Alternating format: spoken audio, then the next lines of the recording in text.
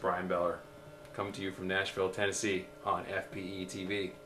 And I'm holding my Mike Lull T bass, which as you can see is inspired by the uh, original model Thunderbird, but it's got all sorts of really cool stuff about it. First of all, the neck doesn't dive, which is really, really cool. Second of all, it plays like a dream.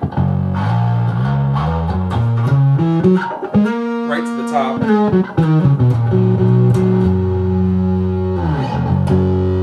And third of all, duh, I mean, look at it.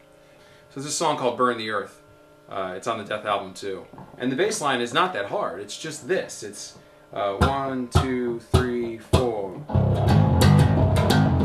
Little slower. Mm, mm. So just really slow. I'm tuned down to C, so it's C, F, B flat, E flat.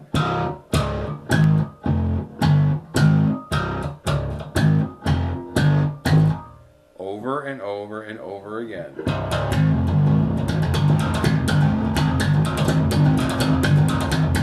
For about four minutes.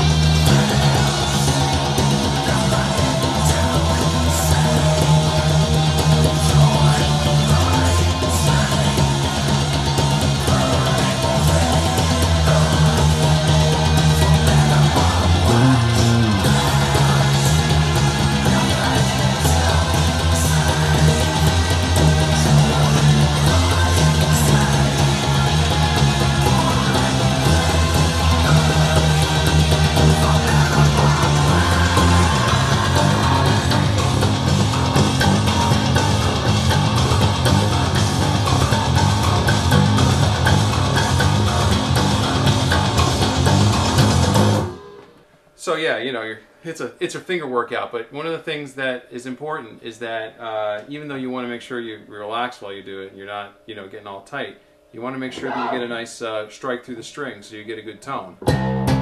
Because you can do this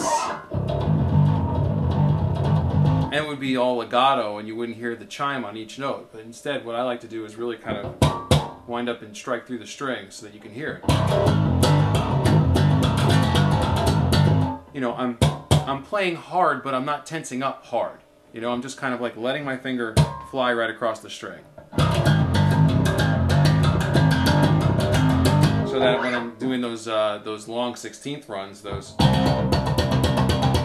I'll mute a little bit with my left hand right here so that and then let up little by little by little so that it, it comes up like that. But you know, you, you have to get a good chime.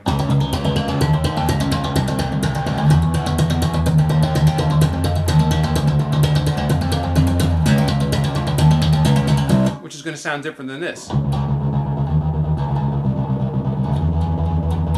which might be right for some other application, but for this you really want to go daga daga daga daga daga daga because the kick drums are going daga daga daga. I mean they're snapping even harder than that, so you want to kind of like get in the same ballpark as that. So uh, you know all you got to do is this for four minutes and you're there, man. It's all it's all good. So so there you go, Bryan Beller for FPE TV, Mike Lull T bass. You know what I'm saying.